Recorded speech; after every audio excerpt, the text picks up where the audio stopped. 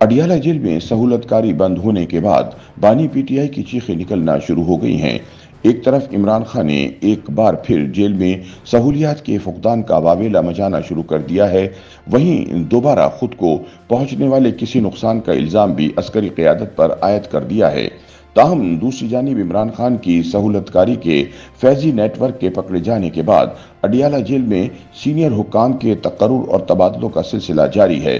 جس کے بعد نہ صرف عمران خان کے بیرک پر تعینات، جیل کے عملے کو بانی پی ٹی آئی سے بات چیت کرنے سے منع کر دیا گیا ہے، بلکہ عمران خان کے مطالبات کو ماننے سے بھی روک دیا گیا ہے۔ تاہم، یہاں یہ سوال پیدا ہوتا ہے کہ کیا اڈیالہ جیل کے سینئر حکام کے تبادلے اور تعیناتی سے جیل میں عمران خان کی سہولت کاری بند ہو جائے گی؟ کیونکہ جب سے عمران خان اڈیالہ جیل میں قید ہیں انہیں نہ صرف وہاں عیاشی کی زندگی میں اثر ہے بلکہ جیل حکام کی سہولت کاری کی بدولت ہی وہ غیر ملکی مطبوعات میں شائع ہونے والے مضامین کے ذریعے معلومات باہر کی دنیا تک پہنچانے میں کامیاب ہوئے ہیں۔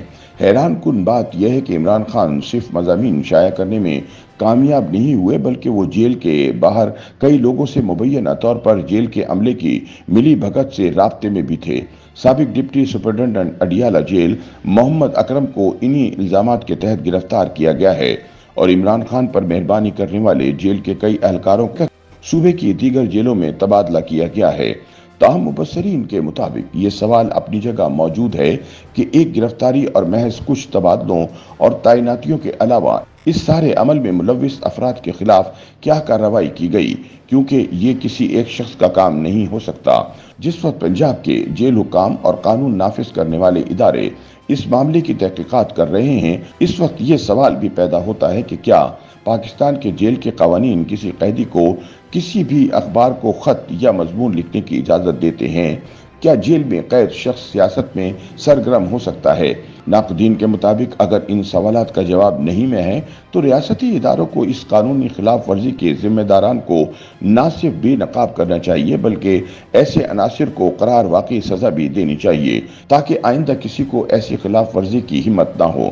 دوسری جانب، پی ٹی آئی حلقوں کے مطابق اڈیالہ جیل میں حکام کی گرفتاریوں اور نئی تعیناتیوں کے بعد سابق وزیر اعظم عمران خان پر اڈیالہ جیل میں سختیاں مزید بڑھا دی گئی ہیں۔ جیل کے عملے کو عمران خان کے سیل کے قریب جانے سے منع کر دیا گیا ہے۔ عمران خان اب مکمل طور پر قید تنہائی میں ہیں۔ اگر عمران خان کو کسی چیز کی ضرورت ہوتی ہے تو وہ آواز لگا کر منگوا لیتے ہیں، لیکن عملے کو عمران خان سے بات چیت کرنے سے سختی سے منع کیا گیا ہے۔ پاکستان تحریک انصاف کے ذرائع نے یہ بھی دعویٰ کیا ہے کہ عمران خان کو اب متعدد ضروریات کی چیزیں بھی مہیا نہیں کی جا رہی ہیں۔ مثلا انہیں کتابیں، انگریزی اخبار، ڈان وغیرہ اب پڑھنے کو نہیں دیا جا رہا۔ پی ٹی آئی ذرائع کے مطابق سابق وزیر اعظم عمران خان پر پہلے بھی سختیاں تھیں، تاہم انہوں نے اس حوالے سے بات کرنے سے منع کیا ہوا تھا، لیکن اب سختیاں مزید بڑھا دی گئی ہیں۔ ذرائع کا کہنا ہے کہ عمران خان کو نہانے کے لیے ریت ملا پانی دیا جاتا ہے۔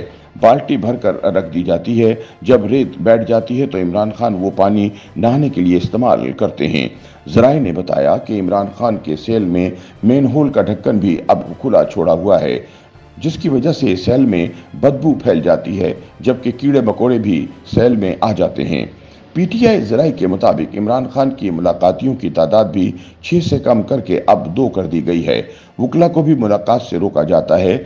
عدالت کے احکامات کے بعد ہی وکلا کو اندر جانے کی اجازت دی جاتی ہے، جبکہ سیاسی ملاقاتوں میں سیاست پر گفتگو کرنے سے روکا جاتا ہے۔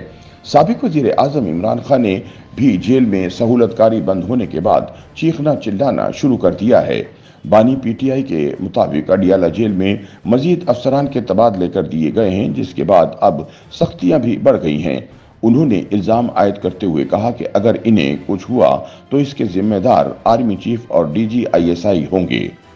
یوٹیوب پر گوگلی نیوز دیکھنے کے لیے یوٹیوب ڈاٹ کام کی سرچ بار میں گوگلی نیوز ٹی وی ٹائپ کریں۔ گوگلی نیوز کے پیج پر سرخ رنگ کے سبسکرپشن والے بٹن پر کلک کرنا نہ بھولیے۔ یوٹیوب پیج پر اپلوڈ ہونے والی ویڈیوز سے باخبر رہنے کے لیے بیل آئکن پر کلک کیجیے۔ آپ کو ہر نئی ویڈیو کے بارے میں نوٹیفیکیشن موصول ہو جائے گا۔